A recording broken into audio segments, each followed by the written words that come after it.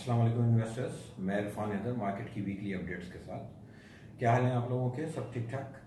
काफ़ी interesting week रहा और इस वीक में जो है वो काफ़ी अच्छे सरप्राइज़ जो है आप लोगों को मिले। इंटरेस्ट रेट से रिलेटेड भी और पेट्रोल प्राइसेस का जो एक आखिरी दिन हमें तोहफा मिला। अच्छा पहले हम मार्केट को डिस्कस कर लेते हैं। ओवरऑल ओवरऑल देखिए मार्केट जो प्राइस मैंने, जो प्राइस रेंज मैंने एक्सपेक्ट की थी अपनी लास्ट वीडियो के अंदर उसी प्राइस रेंज के अंदर मार्केट ने जो है वो एक वॉलेटाइल सेशन रहा पूरे वीक के अंदर। मार्केट ने 34,100 का ऑलमोस्ट एक हाई बनाया। बल्कि 34,200 300 का एक हाई बना और 33,100 का बाज़ार ने एक लो बनाया। और क्लोजिंग फिर 34,000 के नीचे हुई है। जबकि मार्केट में थर्सडे वाले दिन इंटरेस्ट रेट की एक, जो एक सरप्राइज़ हाइक थी उसका जो जो जो इम्पैक्ट आना चाहिए था मार्केट के अंदर ओवरऑल, वैसा बाज़ार में नहीं आया।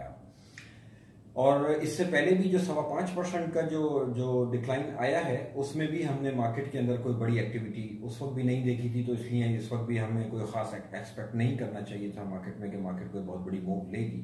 बेसिकली ये तमाम जो चेंजेस आ रही हैं, ये जो फंडामेंटल चेंज है और ये जो सरप्राइज़ जो जो जो अनाउंसमेंट्स आ रही हैं, चाहे वो पेट्रोल प्राइसेस की हों, चाहे वो इंटरेस्ट रेट की हों ये सब इस बात की इंडिकेशन है कि इकोनॉमी एक क्राइसिस की तरफ़ है और उस क्राइसिस से निकलने के लिए कुछ स्टेप्स लिए जा रहे हैं गवर्नमेंट की तरफ़ से।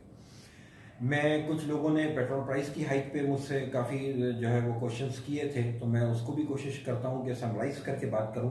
क्योंकि देखिए आपके ये जो आपका जो इलेक्ट्रॉनिक मीडिया है, इसके ऊपर काफ़ी इस चीज़ के ऊपर डिस्कशन हो रही है।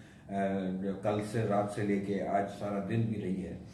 देखिए सिंपल है कि ये प्राइस हाइक हम एक्सपेक्ट कर रहे थे, जो कि मंथ एंड पे होनी थी, पहली तारीख से होनी थी। इन्होंने दो दिन, तीन दिन पहले किया है, उसकी कुछ जो है वजूहत ये हैं कि हमारे यहाँ, आपको पता है, जब भी पेट्रोल प्राइस बढ़ने की बात आती है तो एक दिन पहले से शॉर्टेज हुई भी होती है। तो इन्होंने एक तरीके का डॉच किया है ये आपके पेट्रोल पंप्स माफिया को। दूसरा ये कि पेट्रोलियम लेवी इन्होंने इंक्रीज की है, जो कि एक नॉन टैक्स रेवेन्यू है, और गवर्नमेंट को इस वक्त ऐसी बात है कि जो है अपने रेवेन्यूज को बढ़ाना है, अपनी जो है वो इनकम को कहीं ना कहीं से बढ़ाना है। तो ऑब्वियस है कि पेट्रोल प्राइसेस एक एक ऐसा एक ऐसा पोर्शन है, जहाँ से बहुत क्विक गेन्स जो है वो जो है वो गवर्नमेंट जो है ले सकती है। सेकंड इंटरनेशनल ऑयल प्राइस में जो है last thirty two forty days के अंदर जो है वो ऑलमोस्ट हंड्रेड परसेंट का गेन भी आया है। मार्केट जो है इंटरनेशनल क्रूड ऑयल की ट्वेंटी डॉलर अराउंड ट्रेड हो रही थी बिफोर फोर्टी डेज़ और आज जो है फोर्टी डॉलर के अराउंड इंटरनेशनल ऑयल प्राइस जो है वो ट्रेड हो रही है। तो एक ये रीज़न भी वैलिड था कि पेट्रोल प्राइस बढ़नी चाहिए। थर्ड हमारे जो करेंसी डिवेल्यूएशन हुई है 63 से 67 तक जो आपका डॉलर आया है उसका इम्पैक्ट जो था, जो कि होना था। तो ओवरऑल देखें तरीकेकारों पे एतराज़ हो सकता है इस गवर्नमेंट के कि इन्होंने करने का तरीका सही नहीं था, लेकिन ये करना था, ये ज़रूरी था और हमारी इकोनॉमी के लिए ये चीज़ बेहतर थी, क्योंकि हमारे पास रेवेन्यू के फ़िलहाल क्विक और कोई जराए ऐसे हैं नहीं। क्योंकि इस बजट में भी इन्होंने कोई नई टैक्सेशन नहीं की है, जबकि टारगेट्स इनके बजट के काफ़ी हाई हैं, जो इन्होंने रेवेन्यू कलेक्शन के टारगेट्स रखे हुए हैं। तो उस चीज़ को लेते हुए मैक्रोस के लिए ये एक अच्छा है कि गवर्नमेंट को कुछ जो है वो इनकम होगी इससे। इम्पैक्ट मार्केट के ऊपर इसका ऑयल मार्केटिंग कंपनीज़ के ऊपर सेंटिमेंट्स के ऊपर तो इम्पैक्ट हो सकता है। अदरवाइज़ उनके फाइनेंशियल्स के ऊपर कोई ऐसा इम्पैक्ट मैं नहीं देखता। ठीक है? कोई ऐसा नहीं होने वाला कि कोई ऑयल मार्केट कंपनीज़ की कोई चांदी हो जाएगी और प्राइसेस कोई इनकी स्टॉक मार्केट के अंदर डबल होने जा रही है। ऐसा नहीं है स्पेकुलेट होगी मार्केट मंडे ट्यूसडे बाज़ार, हो सकता है कि ऑयल मार्केटिंग कंपनीज़ कुछ स्पाइक दिखाएँ तो उसमें प्रॉफिट टेकिंग ही करनी चाहिए। क्योंकि जब तक ये फोर्टी डॉलर बिलो ट्रेड हो रहा है, मैं बेरिश हूँ, मुझे लगता है कि इंटरनेशनल क्रूड ऑयल में एक डिप आएगा, एक करेक्टिव फ़ेज़ शुरू होगा। मार्केट में काफ़ी अच्छे गेंस आ चुके हैं इंटरनेशनल ऑयल के अंदर। अब आने वाले दिनों में मैं मैं एक्सपेक्ट कर रहा हूँ कि वो, वहाँ पे जो है वो एक डाउन साइड देखने को मिलेगी। सेकेंड इंटरेस्ट रेट का इम्पैक्ट शॉर्ट टर्म में लोग पूछ रहे हैं, क्यों नहीं आ रहा? देखिए, नज़र ये आ रहा है कि ये जितने भी मेजर्स लिए जा रहे हैं गवर्नमेंट की तरफ़ से, ये बिज़नेस एक्टिविटी को जनरेट करने के लिए कुछ स्टेप्स हैं।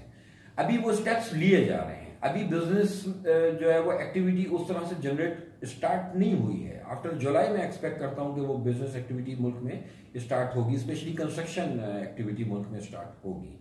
अभी इंटरेस्ट रेट को लेके अगर आप ये एक्सपेक्ट करेंगे कि जिस दिन इंटरेस्ट रेट का अनाउंसमेंट आ गया उसके अगले दिन ही बाज़ार में 2000 पॉइंट ऊपर चले जाना है फिर उसके अगले दिन और 2000 पॉइंट ऊपर चले जाने तो ऐसा नहीं है। मार्केट अभी रेंज में रहेगी और same market behaviour international market का अगर आप मैच कर लें तो हमारी मार्केट और इंटरनेशनल मार्केट्स बिल्कुल सेम बिहेवियर के साथ इसे परफॉर्म कर रही हैं। क्योंकि वहाँ पे भी अब लॉकडाउन से वो लोग बाहर आना शुरू हुए हैं। अभी उस पैनिक फ़ेज़ से वो बाहर आ रहे हैं। आने के बाद चीज़ें नॉर्मलाइज होंगी और पहले ये कैलकुलेट किया जाएगा कि कौन सी चीज़ कितनी नॉर्मलाइज हो रही है। इंपोर्ट एक्सपोर्ट जो ट्रेड है दुनिया की आपस में, जो बिल्कुल स्टॉप हो गई थी, वो अगर बहाल होने जा रही है तो वो किस हद तक बहाल होने जा रही है? अभी इस चीज़ का इंतज़ार कर रही है आपकी स्टॉक मार्केट और इंटरनेशनल स्टॉक मार्केट तो फ़ौरन अगर आप ये सोचेंगे ना कि आपको एकदम किसी भी अनाउंसमेंट के ऊपर बाज़ार में 2000 पॉइंट की जम मिल जाएगी, और जब ऐसा नहीं होगा तो वैसे वाली डिसअपॉइंटमेंट होती है। फिर आपके अपने जो है, वो मोराल जो है, वो डाउन होता है। तो एक्सपेक्ट नहीं करें इस चीज़ को। सेक्टर वाइज चीज़ों को फोकस करें। मैंने आप लोगों को याद होगा, दो, तीन वीडियोस पहले ये बात इंडिकेट की थी कि मार्केट में second year third year script चलेंगे। उस वक्त मार्केट में सिर्फ़ ब्लू चिप्स चल रहे थे और सेकंड थर्ड ईयर के अंदर कोई एक्टिविटी नहीं थी और मेरी बात करने के बाद दो, तीन हफ़्ते से आप सबने ये बात विटनेस की कि second year third year script ही चले। बगैर किसी फंडामेंटल के टोटल स्पेकुलेटिव वो शेयर्स होते हैं और वो चले हैं और अब बहुत से लोगों ने कुछ अच्छे पोटेंशियल शेयर बेच बेच के जो है वो उन स्पेकुलेटिव शेयर्स के अंदर पोजीशन ले ली है। और हमेशा एक बात याद रखें, कोई भी शेयर जब चलता है तो कोई ना कोई बहाना बनता है। अब वो सच्चा या झूठा, एक कोई ना कोई लॉजिकल रीजन बनाया जाता है तो ही वो चीज़ स्पेकुलेट होती है।